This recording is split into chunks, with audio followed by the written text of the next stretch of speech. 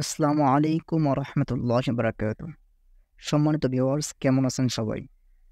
আজকের ভিডিওর টপিক হচ্ছে, কীভাবে নতুন নিয়মে বিদ্যুৎ বিল বিকাশ অথবা নগদ দিয়ে পরিশোধ করবেন। অনেকদিন যাবৎ ব্যস্ততার কারণে আমি কোনো ভিডিও আপলোড করতে পারিনি এজন্য আন্তরিকভাবে দুঃখিত। আপনারা যারা চ্যানেলে নতুন আসছেন, যারা ভিডিও দেখতেছেন, অবশ্যই আমার চ্যানেলটি সাবস্ক্রাইব করবেন এবং ভিডিওতে একটা লাইক দেবেন। তো আর দেরি না করে শুরু করা যাক আজকের ভিডিও। তো শুরুতেই আমরা বিকাশ অ্যাকাউন্টের ভেতরে ঢুকবো। আমি আমার বিকাশ অ্যাকাউন্টে লগ ইন করে নিয়েছি।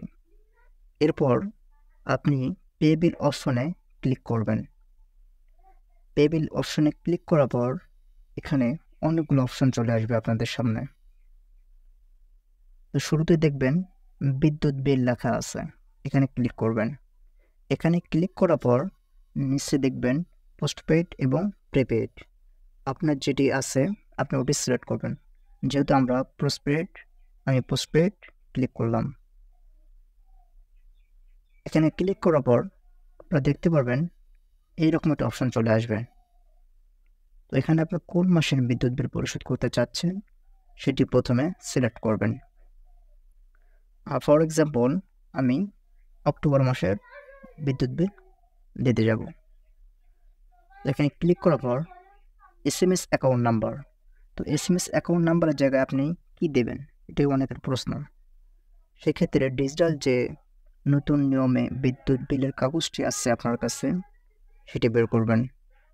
আমি আমার বিদ্যুৎ বিলের কাগজটি বের করলাম। তো কাগজ বের করার পর দেখতে পাবেন প্রথমেই গ্রাহক হিসাব নাম্বার। এটা আপনি কপি করবেন। তো আমার অলরেডি কপি করা আছে। তো আমি আবার বিকাশ অ্যাপস চলে গেলাম। বিকাশ আসার পর আমি আবারও বিল অপশনে ক্লিক করে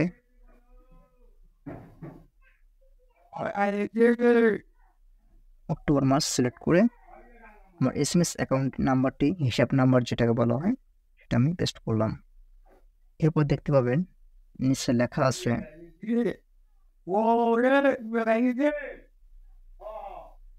সরি আর নিচে লেখা আছে টেবিল এগিয়ে যান। এখানে ক্লিক করবেন। যেহেতু আমার অ্যাকাউন্টে পর্যাপ্ত পরিমাণ ব্যালেন্স নেই, যার কারণে এ লেখা আসলো। তো আপনার যে মাসে বিল পরিশোধ করবেন, সেই মাসে এখানে লেখা আসবে। আর অনেকের সমস্যা হচ্ছে এখানে এটা দেওয়ার পর এসএমএ না sorry S M S account number দেওয়ার পর পেবিল করতে ক্লিক করে যখন করি, তখন লেখা আসে পেইলের তথ্য সঠিক না, অনুগ্রহ করে সঠিক তথ্য দিয়ে আবার চেষ্টা করুন। এটি কেন আসে? এটি আসে আপনার যদি আগের কোনো বকায়া বিল থাকে এবং বিলটা যদি আপনি সঠিক সময় পরিশোধ করতে না পারেন, তাহলে পরের মাসে যেয়ে যদি আপনি আগের বিল সহ দিতে যান তাহলে এই লেখাটা চলে আসবে। এটা বিকাশের একটি নতুন নিয়ম করছে, অথবা আর নগদ বা আপনি যাই বলেন টেবিলে এটি নতুন নিয়ম।